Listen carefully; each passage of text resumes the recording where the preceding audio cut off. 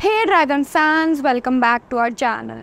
Today we are diving into the latest buzz from House of the Dragon Season 2 Episode 6 where a surprising kiss left everyone talking. Let's get into it. In Episode 6, Rhaenyra played by Emma D'Arcy and Mysaria portrayed by Sonoya Mizuno share a tense and emotional moment.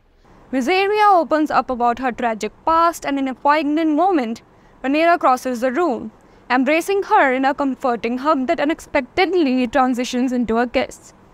But here's the twist. That kiss wasn't in the script. Sonoya Mizuno revealed in an interview that the scene was originally written with just a breath between them, interrupted before anything more could happen. Rhaenyra felt the instinct to comfort Mysaria, leading to an organic and powerful moment.